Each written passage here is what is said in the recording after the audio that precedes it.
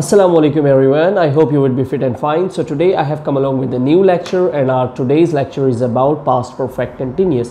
जिस तरह हमने अपने पिछले लेक्चर में अबाउट प्रेजेंट परफेक्ट कंटिन्यूस पढ़ा, आज हम पास्ट परफेक्ट कंटिन्यूस को डिस्कस करेंगे see before learning about past perfect continuous हमें सबसे पहले ये समझना चाहिए कि पास्ट परफेक्ट कंटिन्यूस का सेंस क्या है और ये किस किस लिए इस्तेमाल होता है सी uh, सबसे पहले जब पास परफेक्ट कंटिन्यूस आप यूज़ करेंगे तो आपको ये याद होना चाहिए कि हमने जो पहले पास कंटिन्यूस पढ़ा था वो किस लिए यूज़ होता है। See past continuous is basically use for the things which were in process at the time of speaking well in the past right कि जो चीज़ें एक वक्त में यानी किसी ख़ास वक्त में जिसकी हम बात कर रहे हैं या जिसके बारे में बात हो रही है माजी में ही। पास्ट में किसी ख़ास वक्त में कोई काम हो रहा था। So for that purpose we learn past continuous जो कि पिछले लेक्चर में हमने पढ़ा भी है and you can see that but past perfect continuous क्या है? पास्ट परफेक्ट कंटिन्यूस एक्चुअली वही काम है जो पहले हो रहे थे राइट right? जैसे you know something was in progress but from a particular time you know perfect continuous चाहे प्रेजेंट है पास्ट है या फ्यूचर है उसमें एक चीज़ का uh, ये ये लाजमी uh, एक सेंस होता है कि एक काम जो प्रोग्रेस में है लेकिन किसी ख़ास टाइम से चाहे वो फिर पास्ट में हो चाहे वो फिर प्रेजेंट में हो चाहे फिर वो फ्यूचर में हो राइट right? जिस तरह प्रेजेंट परफेक्ट कंटिन्यूस हमने पढ़ा था कि वो काम जो कंटिन्यू है लेकिन किसी ख़ास टाइम से किसी पर्टिकुलर टाइम से इसी तरह पास परफेक्ट कंटिन्यूस क्या है कि एक काम जो चल रहा था, या जो कंटिन्यू था राइट जो प्रोसेस में था, लेकिन किसी ख़ास टाइम से। जैसे फॉर एग्ज़ाम्पल मैं ये कहूँ कि यार मैं अप्रैल से, यानी कि अप्रैल से अपने एग्ज़ाम्स की तैयारी कर रहा था right so it means that कि एक काम जो प्रोग्रेस में था, लेकिन किसी ख़ास टाइम से। जिस तरह हम कहते हैं कि यार पुलिस जो है वो यू नो दो घंटे से यू नो किलर्स का या चोरों का या you know you know thugs का यू नो पीछा कर रही थी। तो यहाँ टाइम मेंशन है कि कितने अरसे से कर रही थी या किस टाइम से कर रही थी। तो ऐसा कोई भी काम जो किसी ख़ास टाइम से हो रहा था that is past perfect continuous जिस तरह पास्ट कंटिन्यूस है ना कि वो काम जो हो रहा था। जैसे फॉर एग्ज़ाम्पल जब मैं घर से आ रहा था तो भाई मेरे फादर न्यूज़पेपर पढ़ रहे थे my father was reading a newspaper you know my mother was watching T V तो ये पास कंटिन्यूस है। लेकिन अगर हम उसके साथ टाइम मेंशन करें कि किस टाइम से कर रहा था, या किसी ख़ास टाइम से कर रहा था, या एक अरसे से वो काम कर रहा था, या कर रहे थे so for that purpose we use past perfect continuous right जैसे फॉर एग्ज़ाम्पल अगर मैं ये कहूँ कि यार मेरे अबू या, यू नो माई डैड या you know my father was watching T V लेकिन अगर मैं ये कहूँ कि आप सुबह से टी वी देख रहे थे so it would be what my father had been watching T V since morning या दो घंटे से टी वी देख रहे थे my father had been watching T V for you know a couple of hours for two hours right या you know my mother had been reading a newspaper for five minutes यानी पाँच minute से वो newspaper पढ़ रही थी। तो ऐसा कोई भी काम, कोई भी काम जो हो रहा था, लेकिन किसी ख़ास टाइम से हो रहा था, उसके लिए हम यूज़ करते हैं past perfect continuous right description में आप उसका फॉर्मूला देख भी सकते हैं, लेकिन उसके अलावा भी मैं आपको बता देता हूँ कि पास परफेक्ट कंटिन्यूस का फॉर्मूला क्या होता है, उसकी फॉर्मेशन क्या होती है। See you have to use subject first कोई भी यू नो टेंसेस में कोई भी सेंटेंस स्टार्ट करने के लिए आप सब्जेक्ट यूज़ करते हैं। सब्जेक्ट के बाद जो हेल्पिंग वर्ब इसमें यूज़ होगा, वो यूज़ होगा had been right had been right after had been आपको fourth form of verb use करना होता है, जिसे हम एक्शन कहते हैं। यानी पहले सब्जेक्ट आएगा, फिर हेल्पिंग वर्ब हैड बीन आएगा।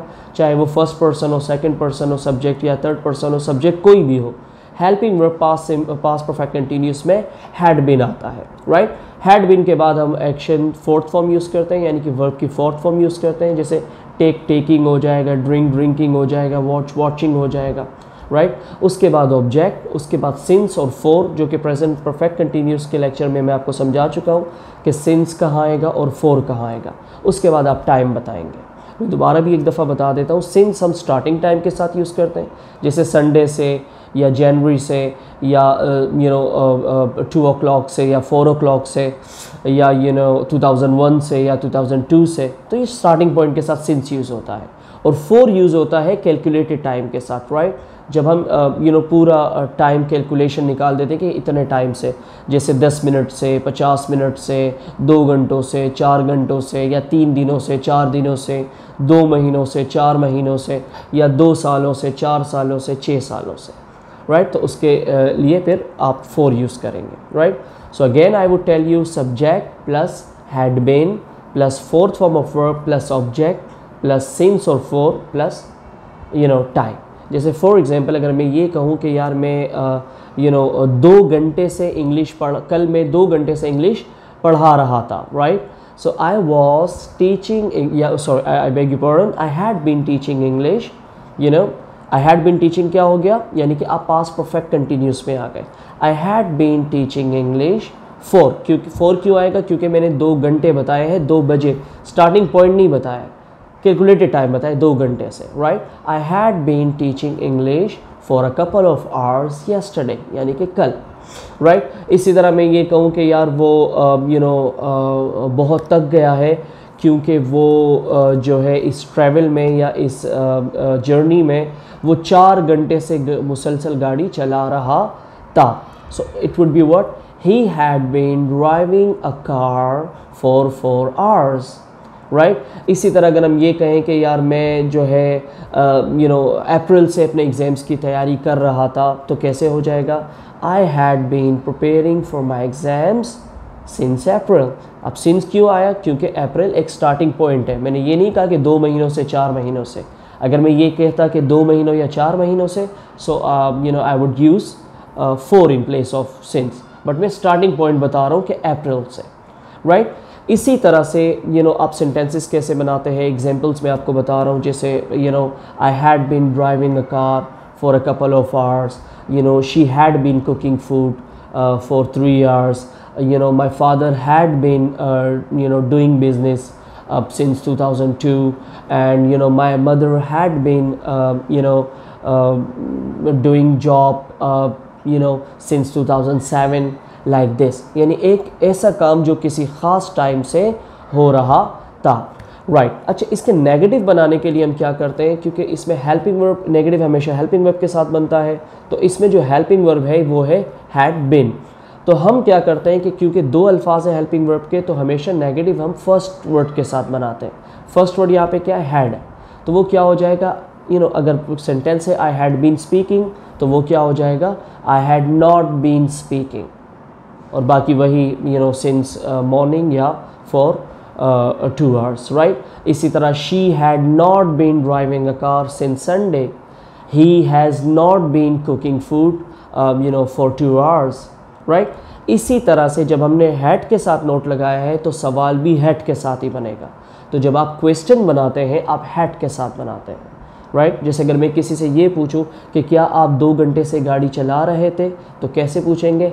हैड यू बीन यानी सब्जेक्ट से पहले सिर्फ़ हैड आ जाएगा, बस। जो हैड सब्जेक्ट के बाद आ रहा है, वो हैड सब्जेक्ट से पहले आ जाएगा right that had you been driving a car for a couple of hours right क्या आप 2001 से जॉब कर रहे हैं? Had you been doing job since 2001 like this, right? So, i hope so that you have understood it. And if you have any problem regarding anything, so you can ask me through my instagram और you know जो भी जिस तरह के भी lectures आपको समझने हो, जिस चीज़ में भी आपको कन्फ्यूज़न हो रही हो you can tell me in the comment section so we will make that videos for you thank you very much now इंशाल्लाह we will meet in another day till then अल्लाह हाफिज़ take care bye bye and हैस्टल Avesta